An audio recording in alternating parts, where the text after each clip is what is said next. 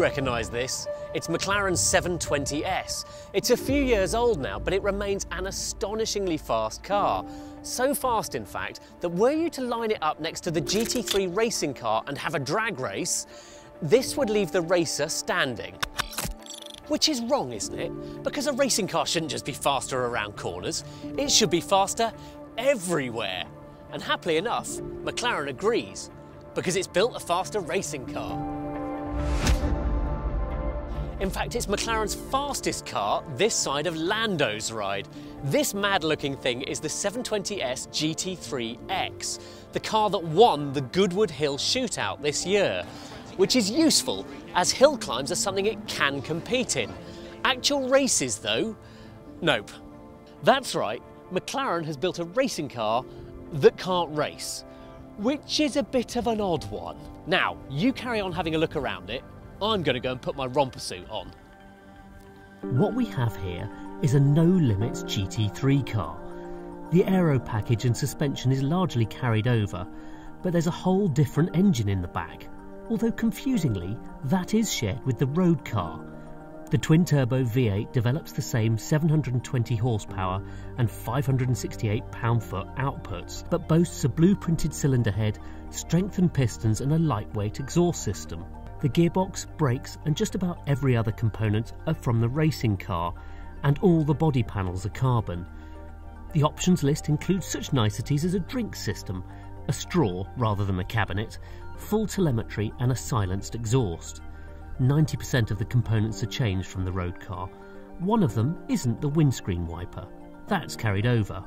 All in all, it is a very serious piece of kit, so it's just as well the driver looks like a toddler heading to bed. Let's see if we can get into this with any dignity, shall we? Let that off.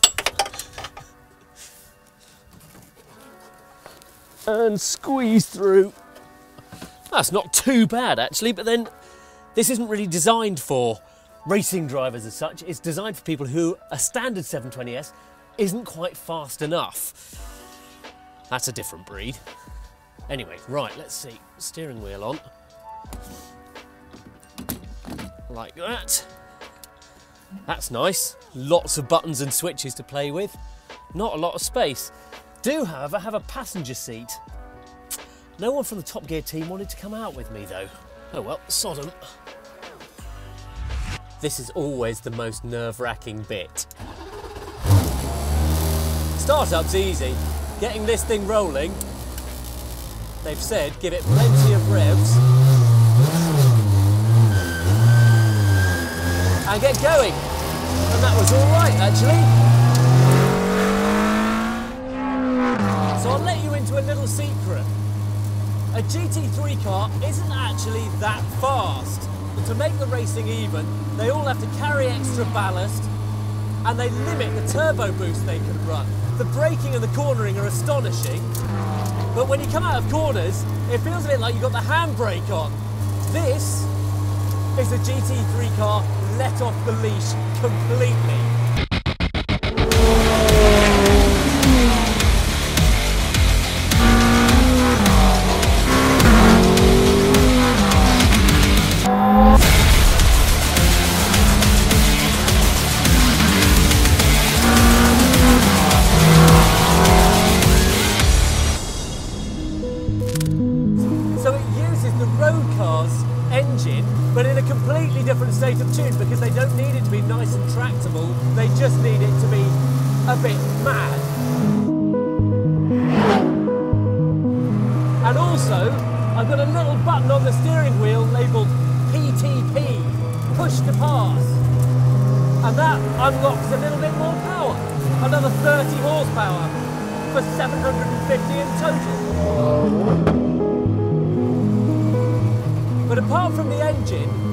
everything else comes from the GT3 racing car. So you've got this fabulous Xtrac gearbox and these amazing Alcon brakes, which when it all gets hot, the power they produce is just astonishing.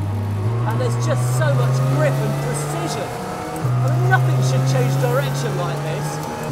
But that's because it doesn't weigh much. It doesn't have to weigh. A normal GT3 car is all ballasted up This thing is only just over 1200 kilos. And it's got 750 horsepower, which let's face it, that'll do. It just goes through so cleanly, so well.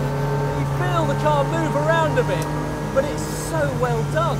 And that's that's pure GT3. That's a racing car that's had a proper amount of budget and money poured into it. But the problem is you can't race it. So this is not McLaren's first rodeo with this type of car. It's very similar to what they've done before with the Senna GTR and the P1 GTR. It's a track-only hypercar. The difference, McLaren says, is that this car comes from the race team rather than the road car programme. It's built in a bay at Race HQ rather than trundling down the production line. McLaren says it's a very different experience to the Senna GTR, but for most of us, that's semantics. The difference more one of McLaren's internal politics than actual driving difference. I've driven a Senna GTR. This is less powerful, no lighter, and yet feels even more intense. But both are fighting it out in the same small pond. Which is faster? McLaren says this is by several seconds a lap. So want to see how fast it can really go? Of course you do.